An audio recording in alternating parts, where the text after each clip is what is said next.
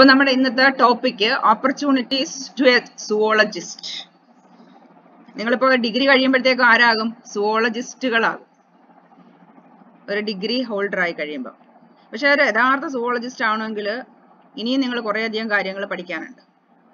അപ്പൊ അങ്ങനെ പോയി കഴിഞ്ഞാൽ ഈ സുവോളജി ബി എസ് സി കഴിഞ്ഞാൽ നിങ്ങൾ ഏതൊക്കെ ബ്രാഞ്ചിൽ അല്ലെങ്കിൽ എന്തൊക്കെ നിങ്ങൾക്ക് ഇനി പഠിക്കാൻ സാധിക്കും? ഹയർ സ്റ്റഡീസിൽ എങ്ങനെയൊക്കെ പോകാൻ പറ്റും? എവിടെ വരെ എത്താൻ പറ്റും? അതുപോലെ തന്നെ ഹയർ സ്റ്റഡീസ് ഒക്കെ കഴിഞ്ഞ് അതല്ലെങ്കിൽ ഡിഗ്രി കഴിഞ്ഞാൽ തന്നെ നിങ്ങൾക്ക് എന്തെങ്കിലുമൊക്കെ ജോലി സാധ്യതയുണ്ടോ? ഇങ്ങനെയൊക്കെയുള്ള കുറേ കാര്യങ്ങളാണ് നമ്മൾ ഈ ഒരു ടോപ്പിക്കിൽ പഠിക്കാൻ ഉദ്ദേശിക്കുന്നത്. Higher education in zoology and also the scope for employment രണ്ട് കാര്യം നമ്മൾ ഇന്ന് ഈ ക്ലാസ്സിൽ ചർച്ച ചെയ്യും.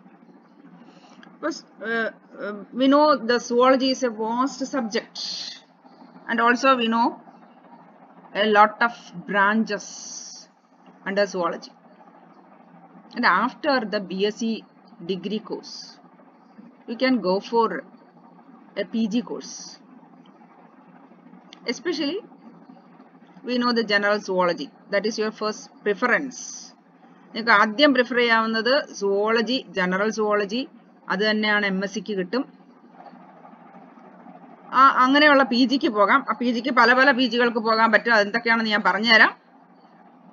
പി ജി കഴിഞ്ഞാൽ നിങ്ങൾക്ക് ചെയ്യാൻ പറ്റുന്നത് M Phil master of philosophy അതല്ലെങ്കിൽ P H D doctor of philosophy M ഫിലിനും പോകാം പി എച്ച് ഡിക്കും പോകാം.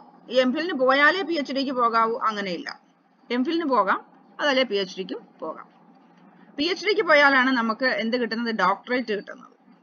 അപ്പൊ നമ്മുടെ പേരിന്റെയൊക്കെ മുന്നിൽ എന്ത് എഴുതി വെക്കും? D R doctor doctor of philosophy മറ്റേ ഡോക്ടർ അല്ല അത് എം ബി ബി എസ് അല്ലെങ്കിൽ അതുപോലെ സ്പെഷ്യലൈസ് ചെയ്ത് പോകുന്ന മെഡിസിനുമായിട്ട് ബന്ധപ്പെട്ട് ട്രീറ്റ്മെന്റുമായിട്ട് ബന്ധപ്പെട്ട് പോകുന്ന ഡോക്ടർ അല്ല. നമ്മൾ എടുക്കുന്നത് ഡോക്ടർ ഇൻ ഫിലോസഫിയാണ് അപ്പൊ ആ ഒരു ഡോക്ടർ ഓഫ് ഫിലോസഫി എടുക്കുന്നതിനാണ് പി എച്ച് ഡി മറ്റേത് എം ഫിൽ വേണമെങ്കിൽ നിങ്ങൾക്ക് എടുക്കാം. അപ്പൊ അങ്ങനെ വന്നു കഴിഞ്ഞാൽ ഇത് രണ്ടും കഴിഞ്ഞ് അല്ലെങ്കിൽ പി എച്ച് ഡി കഴിഞ്ഞ് ചിലർ എം ഫിൽ കഴിഞ്ഞിട്ട് പോകും. മാസ്റ്റർ ഓഫ് ഫിലോസഫി കഴിഞ്ഞിട്ട് പി എച്ച് ഡിക്ക് പോകും. അപ്പോൾ ഒരു ഒരു വർഷം നിങ്ങൾക്ക് അതേ സബ്ജക്റ്റിൽ തന്നെ ചെയ്യുവാണെങ്കിൽ ഒരു വർഷം നിങ്ങൾക്ക് സേവ് ചെയ്യാം. അതല്ലെങ്കിൽ പി എച്ച് ഡിക്കാണ് പോകുന്നതെങ്കിൽ മൂന്ന് വർഷം നിങ്ങൾ കണ്ടിന്യൂസ് വർക്ക് ചെയ്തതിന് ശേഷം മാത്രമേ നിങ്ങളുടെ തിസീസ് സബ്മിറ്റ് ചെയ്യാൻ പറ്റത്തുള്ളൂ. പക്ഷേ എം ഫിൽ കഴിഞ്ഞ് പോകുമ്പോൾ എം ഫിൽ എടുത്ത ടോപ്പിക്കിൽ തന്നെയാണ് നിങ്ങൾ കണ്ടിന്യൂ ചെയ്യുന്നതെങ്കിൽ നിങ്ങൾക്ക് ആ ഒരു പിന്നെ ടൈമും കൂടെ നിങ്ങൾക്ക് സേവ് ചെയ്യാൻ പറ്റും. രണ്ട് വർഷം കഴിയുമ്പോൾ നിങ്ങളുടെ തിസീസ് സബ്മിറ്റ് ചെയ്യാൻ പറ്റും. അതാണ് എം ഫിൽ കഴിഞ്ഞിട്ട് പോയാലും വരുന്നത്. പക്ഷെ പി എച്ച് ഡി ഡയറക്റ്റ് പോയെടുത്ത ഏറ്റവും നല്ലത് തന്നെ. അപ്പൊ അങ്ങനെ പോകുമ്പോൾ പി എച്ച് ഡി കഴിഞ്ഞാൽ നമുക്ക് എന്ത് എന്ത് പറ്റും? Post doctoral fellowship P H D കഴിഞ്ഞവർക്ക് വീണ്ടും റിസർച്ച് ചെയ്യാനായിട്ട് ഫെലോഷിപ്പ് തന്നെ കിട്ടും. അങ്ങനെ ഉള്ള പി ഡി എഫ് എന്ന് പറയുന്നത്. അപ്പൊ ഇത്രത്തോളം നമുക്ക് പഠിക്കാൻ പറ്റും. ഇത്രത്തോളം നമുക്ക് റിസർച്ച് ചെയ്ത് പോകാൻ പറ്റും. ഇത്രത്തോളം തന്നെ നമ്മുടെ സുവോളജി എന്ന് പറയുന്ന സബ്ജക്റ്റിൽ തന്നെ നമുക്ക് സ്റ്റിക്ക് ഓൺ ചെയ്ത് നിൽക്കാൻ പറ്റും. പക്ഷെ ഓരോ പ്രാവശ്യവും പോകുമ്പോൾ ബി എസ് സി പഠിക്കുമ്പോൾ നമുക്കറിയാം നിങ്ങൾ ഇംഗ്ലീഷ് പഠിക്കുന്നുണ്ട് സെക്കൻഡ് ലാംഗ്വേജ് പഠിക്കുന്നുണ്ട് അതർ സബ്സിഡി കോംപ്ലിമെന്ററി സബ്ജക്ട്സ് പഠിക്കുന്നുണ്ട്. പക്ഷേ തേർഡ് ഇയർ തൊട്ട് നമ്മൾ എന്ത് പറ്റും? നമ്മുടെ സുവോളജി മാത്രമേ പഠിക്കത്തുള്ളൂ. പി ജിയിലേക്ക് പോയി കഴിഞ്ഞാൽ സുവോളജി മാത്രമേ പഠിക്കത്തുള്ളൂ. ഇനി M Phil P H D എന്ന് പറയുമ്പോൾ നമ്മൾ വീണ്ടും നാരോ ആകും. നമ്മുടെ ഈ സുവോളജിയിൽ തന്നെ നമ്മൾ വീണ്ടും വളരെ സ്പെസിഫിക് ആയിട്ടുള്ള ഒരു ടോപ്പിക്കിലേക്ക് കയറി പോകും പി എച്ച് ഡി അത് തന്നെ ഒരു ചെറിയ ഒരു ടൈറ്റിൽ ഒരു ചെറിയൊരു സാധനത്തിന് വലുതായിട്ട് അതിനകത്ത് എന്തെങ്കിലുമൊക്കെ നമ്മൾ കണ്ടുപിടിക്കാനായിട്ട് ശ്രമിക്കും. അതാണ് പി എച്ച് ഡി എന്ന് പറഞ്ഞ് പോകുന്നത്. അങ്ങനെയാണ് റിസർച്ച് വഴിക്ക് പോകുമ്പോഴത്തേക്കും മൊത്തം കൂടെ എടുത്തൊന്നും പഠിക്കാൻ പറ്റത്തില്ല. ഏതെങ്കിലും ഒരു ചെറിയ പോയിന്റ് തന്നെ ഇപ്പൊ തന്നെ നമ്മൾ കാണുന്നുണ്ട്. എന്താണ് കൊറോണ വൈറസ് കൊറോണ വൈറസിന് വേണ്ടുന്ന എന്താണ് വാക്സിൻ ഡെവലപ്പ് ചെയ്യാൻ വേണ്ടിയിട്ട് ശ്രമിക്കുകയാണ് ആളുകൾ ഇനി ഇതിന്റെ സ്ട്രക്ചർ എന്തൊക്കെയാണ്? ഇതിന്റെ ഫങ്ഷൻസ് എന്തൊക്കെയാണ്? What are the changes going on in the corona virus all these are the subjects studying these time in different countries അതാണ് നടന്നുകൊണ്ടിരിക്കുന്നത്. അപ്പൊ ഇതെല്ലാം എന്താണ് റിസർച്ച് ആണ്. ഇതെല്ലാം അണ്ടർ സുവോളജിയിൽ വരുന്നതാണ്. അപ്പൊ ഇതാണ് നിങ്ങൾക്ക് പഠിച്ച് പഠിച്ച് പോകാൻ പറ്റുന്ന മാർഗങ്ങൾ. അപ്പൊ നിങ്ങളിപ്പോ just B S C degree അടുത്ത വർഷം കൂടെ കഴിയുമ്പോൾ നിങ്ങൾ ഒരു ബി എസ് സി ഹോൾഡേഴ്സ് ആകും. ബി എസ് സി ഡിഗ്രി കിട്ടും നിങ്ങൾക്ക്. അത് കഴിഞ്ഞാൽ നിങ്ങൾ എന്താണ് ചെയ്യാൻ പോകുന്നത്? ഒരു പി ജി എടുക്കാം. ആ പി ജിക്ക് പോകുമ്പോൾ ഇനി ഏതൊക്കെയാണ്? സുവോളജി അല്ല എങ്കിൽ നിങ്ങൾക്ക് പോകാൻ പറ്റുന്നത് ഏതൊക്കെയാണ്? Microbiology biotechnology biophysics bio informatics medical entomology molecular biology genetics fishery science marine biology mariculture sericulture life science etcetera ഇനി ഇങ്ങനെയുള്ള കുറേ അധികം ആന്ത്രപ്പോളജി ഒക്കെ നമുക്ക് ഇങ്ങനെ എടുക്കാനുള്ള ധാരാളമുണ്ട് സബ്ജക്ട്സ് അങ്ങനെ നമുക്ക് ഇതിന്റെ അതെല്ലാം എന്ന് പറഞ്ഞാൽ എന്താണ്? വളരെ സ്പെസിഫിക് ആയിട്ട് സുവോളജിയുടെ തന്നെ അണ്ടറിൽ നമ്മൾ പഠിക്കുന്നതിന് കുറച്ചും കൂടെ സ്പെസിഫിക് ആയിട്ട് പഠിച്ചു പോകുന്ന ഫീൽഡുകളാണ് ഇതെല്ലാം നമുക്ക് എടുക്കാം. എന്ത് കഴിഞ്ഞിട്ട് ബി എസ് സി സുവോളജി കഴിഞ്ഞിട്ട് നമുക്ക് എടുത്തുകൊണ്ട് പോവാം. അതേസമയം ഇതെല്ലാം നമ്മുടെ സുവോളജി പഠിച്ചവർക്ക് മാത്രമേ എടുക്കാൻ പറ്റത്തുള്ളൂ. അല്ലെങ്കിൽ സുവോളജി പോലെയുള്ള സബ്ജക്ട് പഠിച്ച ആളിന് മാത്രം എടുക്കാൻ പറ്റുന്ന സബ്ജക്റ്റ് ആയിരിക്കാം. ഇപ്പൊ ഈ ബയോടെക്നോളജി ബോട്ടണിക്കാർക്ക് എടുക്കാവുന്നതാണ് ബയോടെക്നോളജി അപ്പൊ സോളജിക്കാർക്കും എടുക്കാവുന്നതാണ്. അപ്പൊ ഇതൊരു കോമൺ ആയിട്ട് വരുന്നതാണ്. പക്ഷെ ഇനിയും വേറെയും കുറെ പി ജികൾ നമുക്ക് എടുക്കാൻ സാധിക്കും. അത് ഏതൊക്കെയാണ്? നമുക്ക് ഇപ്പൊ നമ്മൾ സയൻസ് പഠിച്ചു വരുന്നവർക്ക് തീർച്ചയായിട്ടും ഈ സയൻസിനകത്ത് നമുക്കിനി പോയിട്ടൊരു എനിക്ക് അയ്യോ എനിക്ക് കഷ്ടമായി പോയി ബോട്ടണി പഠിച്ചാൽ മതിയായിരുന്നു. അതല്ലെങ്കിൽ എനിക്ക് ഫിസിക്സ് പഠിച്ചാൽ മതിയായിരുന്നു എന്ന് വിചാരിച്ചാൽ നമുക്കിനി മാറിപ്പോയിട്ട് എടുക്കാൻ സാധിക്കത്തില്ല. എന്നുവെച്ചാൽ ഡിഗ്രി ഇത് കഴിഞ്ഞിട്ട് നമുക്ക് പി ജിക്ക് പോകണമെങ്കിൽ നമ്മുടെ സബ്ജക്റ്റ് തന്നെ പോകാൻ പറ്റത്തുള്ളൂ. അതേസമയം നമുക്ക് ഡിഗ്രി കഴിഞ്ഞു. പക്ഷെ ഞാൻ എനിക്ക് ഇംഗ്ലീഷ് ലിറ്ററേച്ചർ ആയിരുന്നു ഇഷ്ടം. എന്ന് പറഞ്ഞാൽ നമുക്ക് കുഴപ്പമില്ല. എം എക്ക് പോയെടുക്കാം ഒരു പ്രശ്നവും ഇല്ല. അപ്പൊ എം എ അല്ലെങ്കിൽ ഈ ഈ പറയുന്ന പോലെയുള്ള അതർ ആർട്സ് സബ്ജക്റ്റുകൾ കൊമേഴ്സ് സബ്ജക്റ്റ് ഒക്കെ നമുക്ക് എന്ത് ചെയ്യാൻ പറ്റും? പി ജിക്ക് പോയി എടുക്കാൻ പറ്റും. അപ്പൊ നോക്കിക്കേ നമ്മളുടെ വാസ്റ്റ് ആയിട്ടുള്ള ഏരിയയിലേക്ക് നമുക്ക് ഇറങ്ങി പോകാൻ സാധിക്കും. നമുക്ക് എം ബി എ വേണമെങ്കിൽ എടുക്കാം. എന്ത് സബ്ജക്റ്റിലേക്ക് വേണമെങ്കിലും നമുക്ക് കയറി പോകാൻ പറ്റും. പക്ഷെ സയൻസ് ഒരു സബ്ജക്റ്റിലേക്ക് നമുക്ക് തിരിച്ച് ഇതിൽ നിന്ന് മാറി നമുക്ക് വേറൊരു സയൻസ് സബ്ജക്റ്റിൽ കയറാൻ പറ്റത്തില്ല. ബാക്കി ഏതിനകത്ത് വേണമെങ്കിലും പി ജി നിങ്ങൾക്ക് എടുക്കാൻ പറ്റും. ആ പി ജി എടുക്കുന്ന ഏതിലാണോ അത് വെച്ചായിരിക്കും നമ്മൾ എന്തിനു പോകുന്നത് എം ഫിലും പി എച്ച് ഡിക്കും പി ഡി എഫിനും ഒക്കെ പോകുന്നത് അത് വെച്ചേ നമുക്ക് പോകാനായിട്ട് സാധിക്കത്തുള്ളൂ. ഒന്നിൽ കൂടുതൽ പിന്നെ പി ജി എടുക്കുന്നവരുണ്ട് ഒന്നിൽ കൂടുതൽ പി എച്ച് ഡി എടുക്കുന്നവരുണ്ട് അതുമൊക്കെ സാധിക്കും. അതൊക്കെ അവരവരുടെ ടേസ്റ്റ് അനുസരിച്ച് ചെയ്യാൻ പറ്റും. ഇപ്പൊ സുവോളജിയിൽ ഒരു പി ജി എടുത്തെന്ന് പറഞ്ഞിട്ട് ഇനി നമുക്ക് ഇംഗ്ലീഷിൽ താല്പര്യമുള്ളവർക്ക് അതെടുക്കാൻ പോയി. ചിലർക്ക് ഇനി എക്കണോമിക്സിൽ എടുക്കണമെന്ന് തോന്നും അവിടെ പോയി എടുക്കാം. എത്ര പി ജി വേണമെങ്കിലും നമുക്ക് അങ്ങനെ നമുക്ക് എടുക്കാൻ പറ്റും. ഈ സയൻസിലേക്ക് തിരിച്ചു പോകാൻ പറ്റത്തില്ല. അപ്പൊ നിങ്ങൾക്ക് ഒരു കോഴ്സ് ഇനി ഇത് കഴിഞ്ഞ് എന്തിന് പോകാൻ പോകാം എന്നുള്ളത് ഒരു വിധത്തിൽ മനസ്സിലായി കാണുമായിരിക്കും. എൽ എൽ ബിക്ക് വേണമെങ്കിൽ പോവാം. ഒരു പ്രശ്നവുമില്ല. അപ്പൊ അങ്ങനെയൊക്കെ നിങ്ങൾക്ക് കയറി പോകാൻ പറ്റും. ഇനി ഇനി ഈ ഒരു പി ജിക്കൊക്കെ പോയി കഴിഞ്ഞതിന് ശേഷം നിങ്ങൾ പി എച്ച് ഡിക്ക് പോയെന്ന് വിചാരിച്ചോളൂ. എന്താണ് ഈ പി എച്ച് ഡിക്ക് പോകണമെങ്കിൽ നമുക്ക് ചില ഫെലോഷിപ്പുകൾ കിട്ടും. ആ ഫെലോഷിപ്പുകൾ നമുക്ക് കിട്ടണമെങ്കിൽ നാഷണൽ ടെസ്റ്റുകളുണ്ട്. നാഷണൽ ടെസ്റ്റുകൾ ഉണ്ട്. ഈ നാഷണൽ ടെസ്റ്റുകളെ നമ്മൾ ഫേസ് ചെയ്ത് അതിനകത്ത് പാസ്സായെങ്കിൽ മാത്രമേ നമുക്ക് എന്ത് കിട്ടത്തുള്ളൂ? ഇതുപോലെയുള്ള ഫെലോഷിപ്പുകൾ വാങ്ങിച്ച് പി എച്ച് ഡി അല്ലെങ്കിൽ അങ്ങനെയുള്ള റിസർച്ച് ചെയ്യാൻ പറ്റത്തുള്ളൂ. ഇനി ഏതൊക്കെയാണ് കോമൺ ആയിട്ടുള്ള ഫെലോഷിപ്പുകൾ നോക്കിക്കുക J R F junior research fellowship ആണ്. അത് യു ജി സിയും സി എസ് ഐ ആറും കൂടെ സംയുക്തമായിട്ട് ജോയിന്റ്ലി പ്രൊവൈഡ് ചെയ്യുന്നതാണ് ജെ ആർ എഫ് എന്ന് പറയുന്നത്. അതുപോലെ Indian council of medical research നമ്മളിപ്പോൾ എപ്പോഴും കേട്ടുകൊണ്ടിരിക്കുന്നതാണ് ഐ സി എം ആറിന്റെ കാര്യം നമ്മൾ കൊറോണയായിട്ട് ബന്ധപ്പെട്ട് എന്നും കേൾക്കും. എപ്പോഴും ന്യൂസ് എടുത്തു കഴിഞ്ഞാലും അതിനകത്ത് ഒരു ഐ സി എം ആറിന്റെ കാര്യം പറയാറുണ്ട്. ഇതും എന്താണ്? ഒരു റിസർച്ച് ഓർഗനൈസേഷൻ ആണ്. They also provide us fellowship for doing P H D അടുത്ത പറഞ്ഞ സുവോളജിക്കൽ സർവേ ഓഫ് ഇന്ത്യയാണ് വളരെ വലിയൊരു ബോഡിയാണ് സുവോളജിക്കൽ സർവേ ഓഫ് ഇന്ത്യ നമ്മളുടെ ഈ സുവോളജിയായിട്ട് ബന്ധപ്പെട്ട അനിമൽസിന്റെ ഒക്കെ തന്നെ ഐഡന്റിഫിക്കേഷനും സർവേയും ഒക്കെ നടത്തുന്ന വലിയൊരു വേസ്റ്റ് ആയിട്ടുള്ള ഓർഗനൈസേഷനാണ് സുവോളജിക്കൽ സർവേ ഓഫ് ഇന്ത്യ അതിന്റെ ആസ്ഥാനം എന്ന് പറയുന്നത് കൊൽക്കട്ടയാണ്. നമ്മുടെ കേരളത്തിലുണ്ട്. അത് കോഴിക്കോടാണ്. അപ്പൊ അങ്ങനെ സോളജിക്കൽ സർവേ ഓഫ് ഇന്ത്യയും എന്ത് തരുന്നുണ്ട്? ഈ ഫെലോഷിപ്പ് തരുന്നുണ്ട്. അപ്പൊ ഇത്തരത്തിലുള്ള ഫെലോഷിപ്സ് ഒക്കെ നല്ല കൂടുതൽ റേറ്റ് ഉള്ളതാണ്. മുപ്പത്തി അയ്യായിരം വരെയുള്ളതാണ് പിന്നെ ജെ ആർ എഫ് ഒക്കെ നമുക്ക് തരുന്ന ഫെലോഷിപ്പ് എന്ന് പറയുന്നത്. അതേസമയം യൂണിവേഴ്സിറ്റി എല്ലാ യൂണിവേഴ്സിറ്റികളും പി എച്ച് ഡിക്ക് വേണ്ടിയിട്ട് കുട്ടികൾക്ക് ഫെലോഷിപ്പ് കൊടുക്കുന്നുണ്ട്. അത് ഇത്രത്തോളം വരത്തില്ല. എന്നാൽ പോലും പതിനായിരമോ അല്ലെങ്കിൽ അതിന് മുകളിൽ ഉള്ള ഒരു എമൗണ്ട് ആയിട്ട് യൂണിവേഴ്സിറ്റിയും എന്ത് തരുന്നുണ്ട്? ഈ പറഞ്ഞേക്കുന്ന തരത്തിലുള്ള ഒരു ഫെലോഷിപ്പുകൾ തരുന്നുണ്ട്. അപ്പൊ അതാണ് ഫെലോഷിപ്പിന്റെ കാര്യം.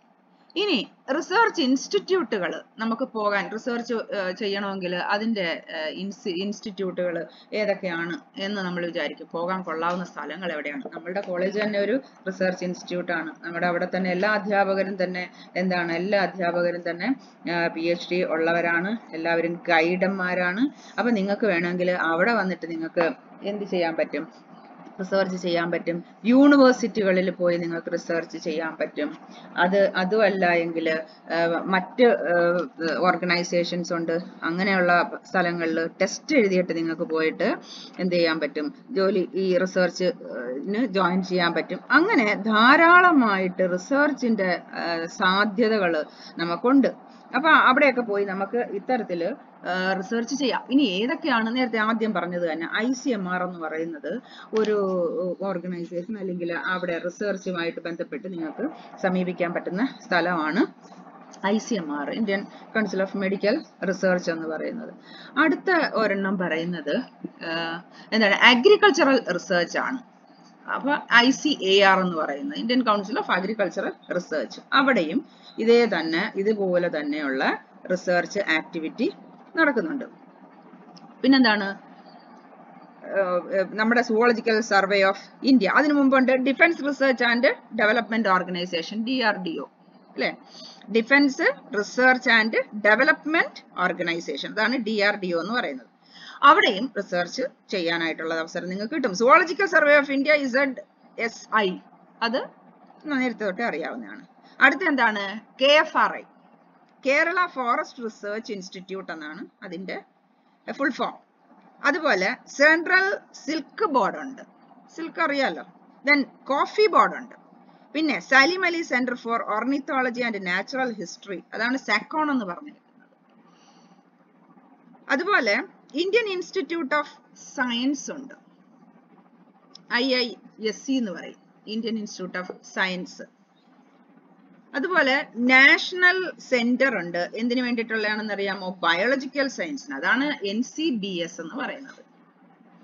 Indian institute of science education and research I I S E R national institute of immunology N I I ഇങ്ങനെ ധാരാളമായിട്ട് എന്തുണ്ട്? കുറേ അത് ഇതൊരു എക്സാമ്പിൾ മാത്രമാണ് ഇങ്ങനെയുള്ള റിസർച്ച് ഇൻസ്റ്റിറ്റ്യൂട്ടുകളിൽ നിങ്ങൾക്ക് റിസർച്ച് ചെയ്യണം എന്നുണ്ടെങ്കിൽ അവിടെയും ഇതുപോലെയുള്ള ടെസ്റ്റുകളുണ്ട് അതാത് സെന്ററുകൾ അല്ലെങ്കിൽ ആ പിന്നെ റിസർച്ച് സെന്ററുകൾ തന്നെ സംഘടിപ്പിക്കുന്ന ടെസ്റ്റുകളുണ്ട് അതിന് നിങ്ങൾക്ക് എഴുതണമെന്നുണ്ടെങ്കിൽ അടുത്ത വർഷം തൊട്ട് തന്നെ നിങ്ങൾ അടുത്ത വർഷം ഏകദേശം നേരത്തെ തൊട്ട് തന്നെ നോക്കിയിരിക്കണം ഒരു ജൂലൈ ഓഗസ്റ്റ് ഒക്കെ ആകുമ്പോഴത്തേക്ക് അവർ കോൾ ഫോർ ചെയ്യും.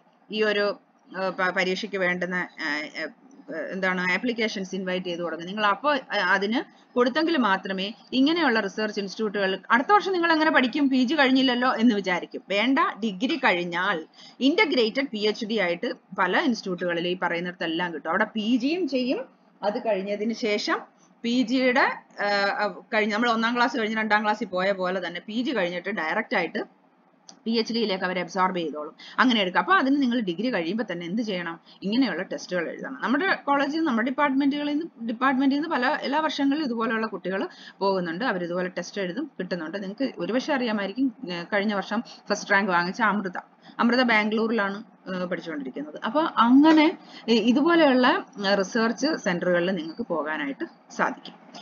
അത് അതുപോലെയാണ് താഴെ കൊടുത്തേക്കുന്നത്. ഈ ഇതേ ഉള്ള റിസർച്ച് സെന്ററുകൾ തന്നെ ഹയർ ലേണിംഗ് സെന്റേഴ്സ് ആയിട്ട് തന്നെ നമുക്ക് അറിയാം. സുവോളജിക്കൽ സർവേ ഓഫ് ഇന്ത്യ ഉണ്ട്. സെൻട്രൽ മറൈൻ റിസർച്ച് ഇൻസ്റ്റിറ്റ്യൂട്ട് ഉണ്ട്. Central institute of fisheries technology ഈ സി എം എഫ് ആർ എന്ന് സ്വിഫ്റ്റ് എന്നൊക്കെ പറയുന്നത് നമ്മളുടെ തന്നെ നാട്ടിൽ കൊച്ചിയിലും അതുപോലെ C M F R I തിരുവനന്തപുരത്തുണ്ട് Swift എറണാകുളത്തുണ്ട്. പിന്നെ അതുപോലെ Rajiv Gandhi centre for biotechnology തിരുവനന്തപുരത്താണ്. Bio informatics centre and library Indian institute of science stem cell institute national institute of immunology centre for cellular and molecular biology centre for D N A finger printing and diagnostics central drug research institute etcetera etcetera etcetera so we can for different uh, branch of zoology. For studying higher studies like the PhD or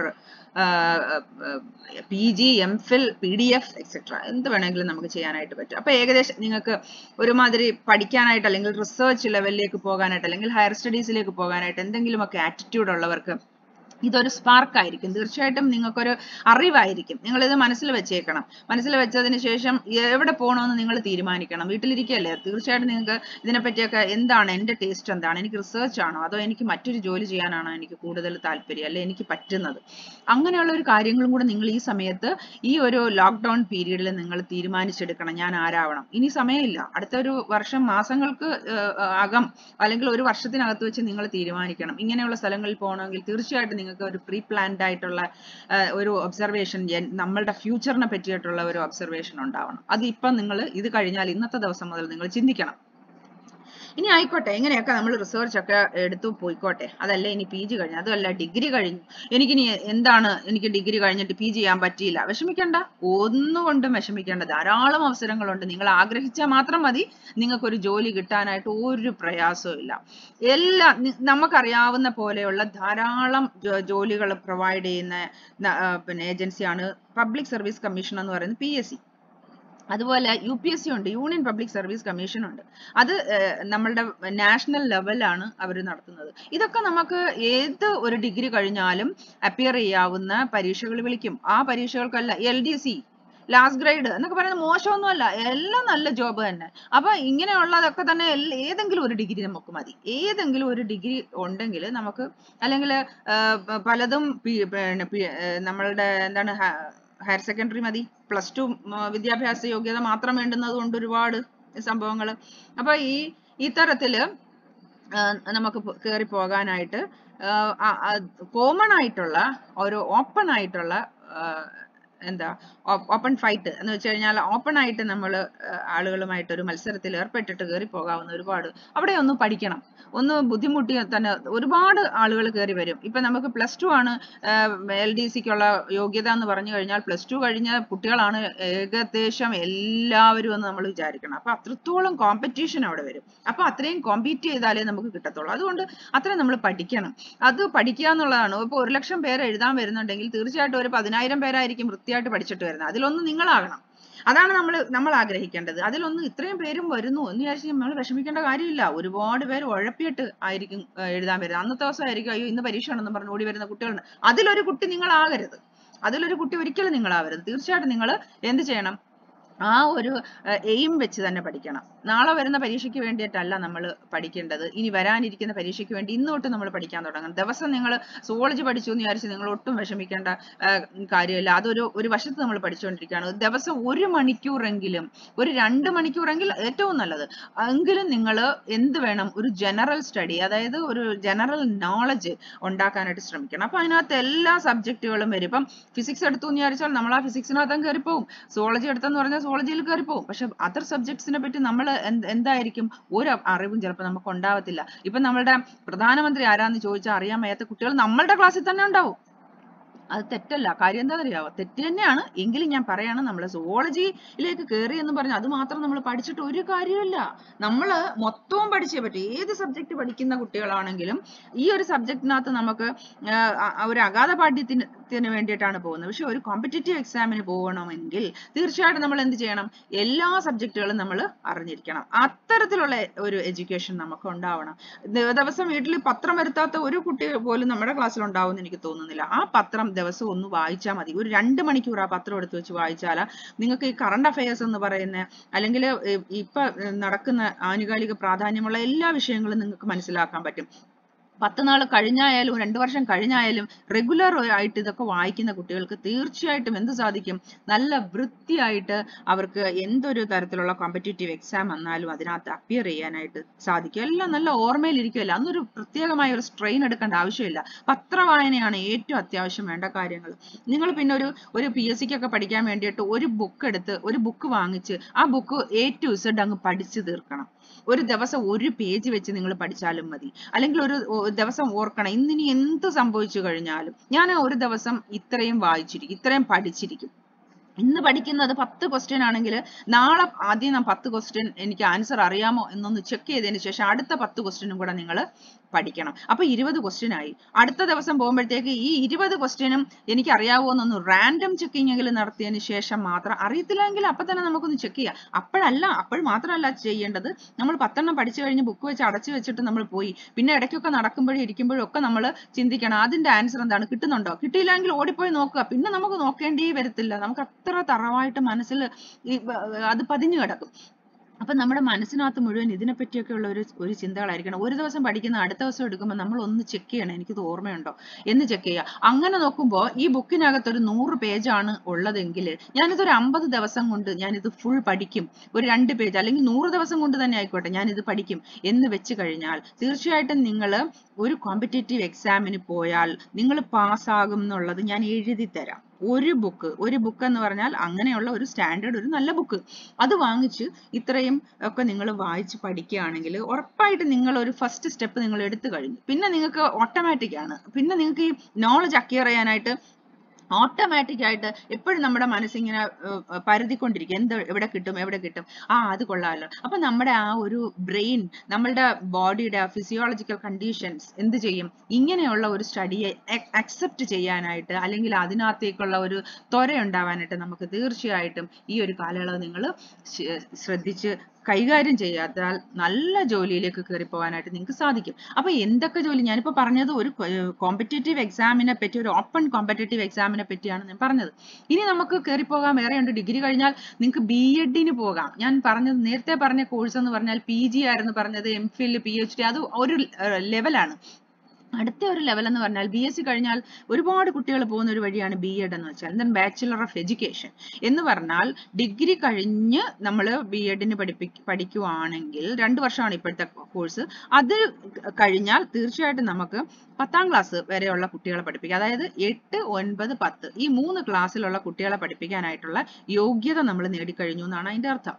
B ed കഴിയുവാണെങ്കിൽ. അതേസമയം B എഡിന് മുമ്പ് ഉണ്ട്. T T സിക്ക് പോകും degree കഴിഞ്ഞ പിള്ളേർ T T സിക്ക് പോകണം പോകുന്നുണ്ട്. പക്ഷെ പത്താം ക്ലാസ് മാത്രം മതി അതിന്റെ ക്വാളിഫിക്കേഷൻ പത്താം ക്ലാസ് കഴിഞ്ഞ് ടി ടി സി എടുത്തിട്ട് അപ്പൊ തന്നെ ജോലി വാങ്ങിച്ച് പത്ത് ഇരുപത്തിരണ്ട് വയസ്സാകുമ്പോഴേ ജോലി കിട്ടിയ ഒരുപാട് ആൾക്കാരുണ്ട്. അവർക്കൊക്കെ എത്ര വർഷം സർവീസ് ആണെന്ന് അറിയാവുള്ളത് അപ്പൊ ഈ ഈ പിന്നെ എന്താണ് ടി ടി സി എന്ന് പറഞ്ഞാൽ ഏഴാം ക്ലാസ് വരെയുള്ള കുട്ടികളെ നമുക്ക് പഠിപ്പിക്കാൻ സാധിക്കും.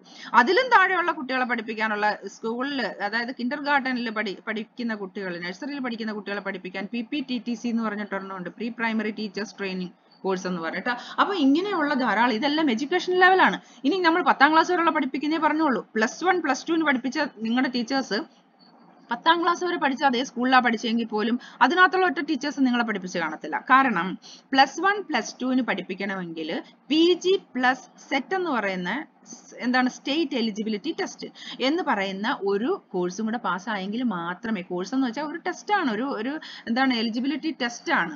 അപ്പോൾ ഈ പി എസ് സി ഒക്കെ എഴുതാൻ പോകുന്ന പോലെ ഒരു ടെസ്റ്റ് അപ്പോൾ ആ ടെസ്റ്റും കൂടെ എഴുതിയെങ്കിൽ മാത്രമേ നിങ്ങൾക്ക് പ്ലസ് വൺ പ്ലസ് ടുവിനെ പഠിപ്പിക്കാനായിട്ട് സാധിക്കത്തുള്ളൂ. അതേസമയം നിങ്ങൾ കോളേജിലാണ് വരുന്നതെങ്കിൽ ഈ സെറ്റും പറ്റത്തില്ല. നിങ്ങൾക്ക് പി ജി എടുത്തതിന് ശേഷം പി എച്ച് ഡി വേണം. അതുമല്ല എങ്കിൽ നെറ്റ് എന്ന് പറയുന്നത് നാഷണൽ എലിജിബിലിറ്റി ടെസ്റ്റ് ഇത് പാസ്സാവണം അപ്പൊ എന്താ വേണ്ടത്? P G plus P H D or net ഉണ്ടെങ്കിൽ മാത്രമേ കോളേജിൽ കയറാൻ പറ്റത്തുള്ളൂ. ഇതെല്ലാം എന്താണ്? എഡ്യൂക്കേഷൻ എന്ന് പറയുന്ന ഫീൽഡാണ് എഡ്യൂക്കേഷൻ ഫീൽഡിലേക്ക് നിങ്ങൾക്ക് കയറണം ഇതൊരു വലിയ വാസ്റ്റ് ആയിട്ടുള്ള ഒരു ഫീൽഡാണ് ടീച്ചിങ് ആണ് അവിടുത്തെ പ്രൊഫഷൻ എന്ന് പറയുന്ന ഒരെണ്ണം. മെയിൻ ആയിട്ട് എഡ്യൂക്കേഷൻ ഫീൽഡിൽ ഓഫീസ് ഉണ്ട്. ഓഫീസിൽ ഓഫീസ് വർക്ക് തന്നെയാണ് ചെയ്യുന്നത്. അത് വേറൊരെണ്ണം ഞാൻ പറഞ്ഞത് എഡ്യൂക്കേഷൻ എന്ന് പറയുമ്പോൾ നമുക്ക് ടീച്ചിങ്ങിന്റെ മേഖലയിലേക്കാണ് നിങ്ങൾ വരണമെന്നുണ്ടെങ്കിൽ ഇതൊക്കെയാണ് നിങ്ങൾ പഠിച്ചു പോകേണ്ട മേഖലകൾ അപ്പൊ എഡ്യൂക്കേഷൻ നിങ്ങൾക്ക് എല്ലാവർക്കും ഏത് സബ്ജക്ട് എടുത്ത് പഠിപ്പിക്കുന്നവർക്കും അത് ആ അതിന്റെ എല്ലാ കുട്ടികളെയും പഠിപ്പിക്കാനായി എല്ലാ കുട്ടികൾക്കും വിദ്യാഭ്യാസം വേണമല്ലോ. അപ്പോൾ ധാരാളം അധ്യാപകരെയാണ് ആവശ്യമുള്ളത്. അപ്പോൾ വലിയൊരു ഫീൽഡ് എന്ന് പറയുന്നത് എഡ്യൂക്കേഷൻ തന്നെയാണ്. അപ്പോൾ നിങ്ങൾക്ക് എല്ലാവർക്കും വളരെ ഓപ്പൺ ആയിട്ടുള്ള ഒരു ഒരു ഒരു ഫീൽഡാണ് എഡ്യൂക്കേഷൻ എന്ന് പറയുന്നത്. പിന്നെ അതുപോലെ തന്നെ നമുക്ക് പോകാവുന്നതാണ് ഹെൽത്ത്. അത് നമുക്കറിയാം എന്താണ് ഹെൽത്തിന്റെ ഫീൽഡിലേക്ക് പോകാനായിട്ട് ബുദ്ധിമുട്ടൊന്നും നമുക്ക് വരുന്നില്ല. ഇപ്പൊ malaria officer district malaria officer എന്ന് പറഞ്ഞിട്ടൊരു ഒരു പോസ്റ്റ് ഉണ്ട് വലിയൊരു പോസ്റ്റാണ്. അത് സോളജിക്കാർക്കുള്ളതാണ്.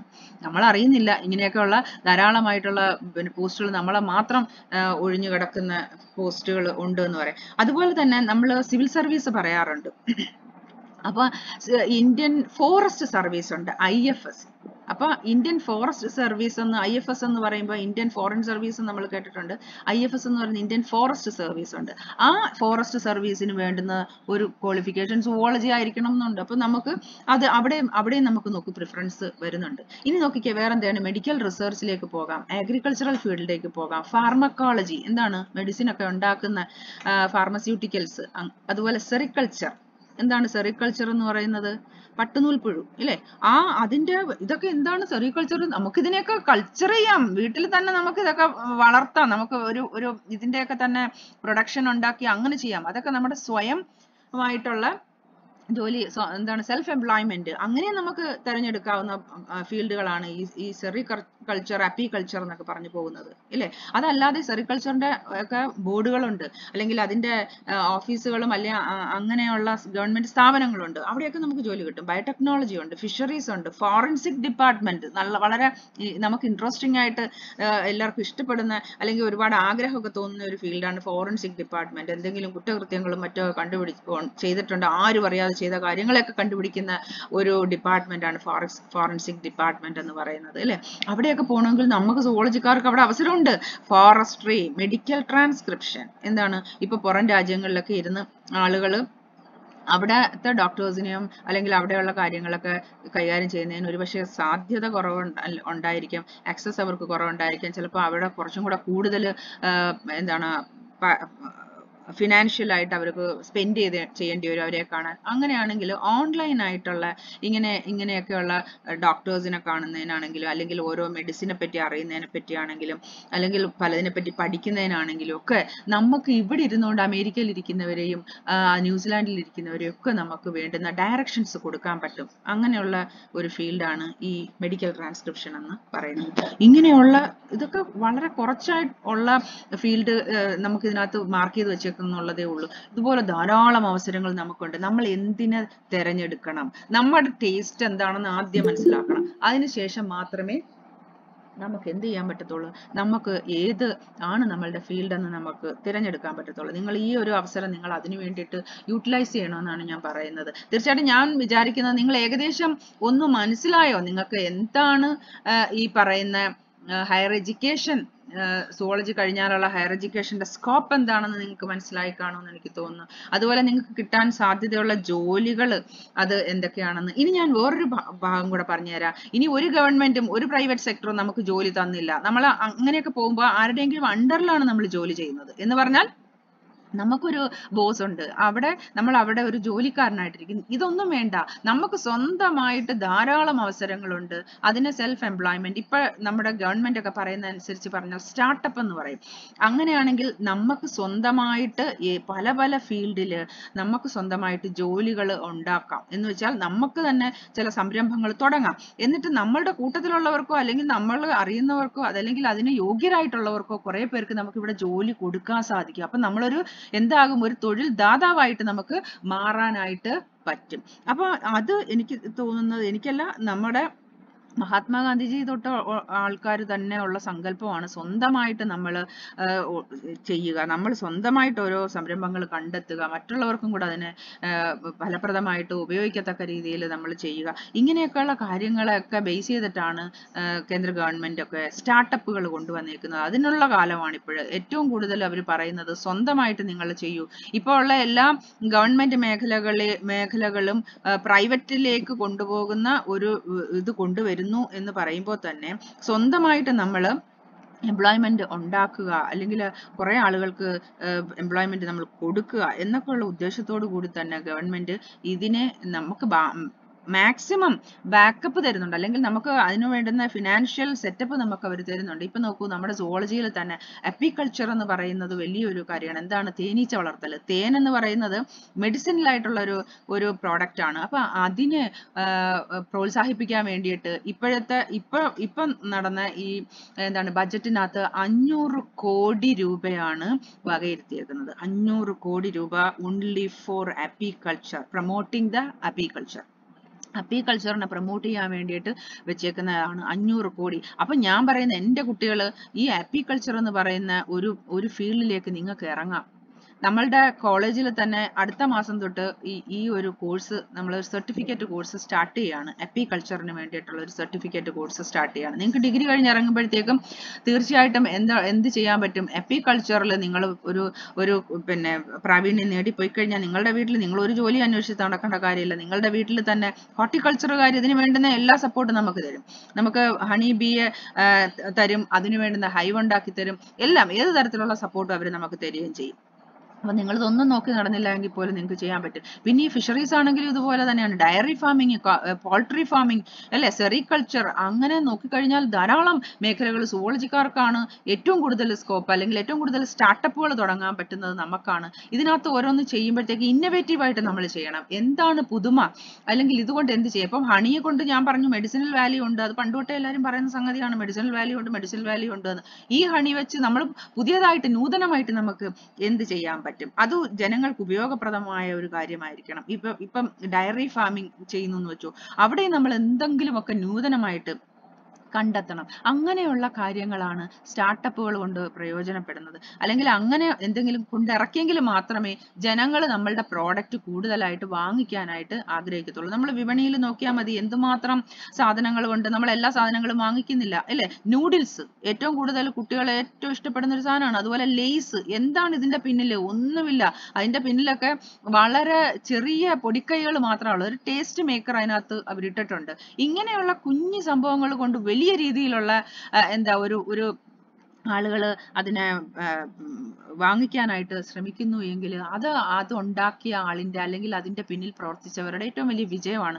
ഇത് നമുക്കും ചിന്തിക്കാവുന്നത് നമുക്കും ഫോളോ ചെയ്യാവുന്നതുമാണ്. നമ്മൾ എടുക്കുന്ന പ്രോഡക്റ്റ് എന്താണോ നമ്മൾ ഉപയോഗിക്കാൻ പോകുന്നത് എന്താണോ അതിനകത്ത് എന്താണ് നൂതനമായിട്ട് എന്താണ് മറ്റുള്ളവർക്ക് ഉപയോഗപ്രദമായിട്ട് അട്രാക്റ്റീവായിട്ട് കൊണ്ടുവരാൻ സാധിക്കുന്നത്. അങ്ങനെ ഒരു തീരുമാനത്തിൽ എത്തിയിട്ട് നമുക്ക് ഇങ്ങനെയുള്ള പല മേഖലകളിലേക്ക് ഇറങ്ങി സ്വന്തമായിട്ട് തൊഴിലവസരങ്ങൾ ഉണ്ടാക്കുകയും അതിനകത്തുനിന്ന് ധാരാളമായിട്ടുള്ള പണം കിട്ടാൻ വേണ്ടിയിട്ടാണല്ലോ എല്ലാവരും ചെയ്യുന്നത്. ധാരാളമായിട്ട് നമുക്ക് നേർവഴിയിൽ പണം സമ്പാദിക്കാനും സാധിക്കും. അത് ജനങ്ങൾക്കും പ്രയോജനപ്പെടും. നാടിനും മറുനാടുകൾക്കും ഒക്കെ പ്രയോജനപ്പെടുന്ന രീതിയിൽ നല്ല രീതിയിൽ നമുക്ക് വികസിപ്പിച്ചെടുക്കാനായിട്ട് പറ്റും. അതുകൊണ്ട് തന്നെ സോളജി എന്ന് പറയുന്നത് ഏറ്റവും നല്ല ഒരു ബ്രാഞ്ച് ആണ്. അത് ഹൺഡ്രഡ് പെർസെന്റ് ഞാൻ ഉറപ്പോടുകൂടി പറയുന്നതാണ് ഏറ്റവും നല്ല ബ്രാഞ്ച് ആണ് സോളജി എന്ന് പറയുന്നത്. നമുക്ക് എപ്പോഴും നമ്മളോട് തൊട്ടുരുമി തൊട്ടുരുമി നിൽക്കാനും സാധിക്കും.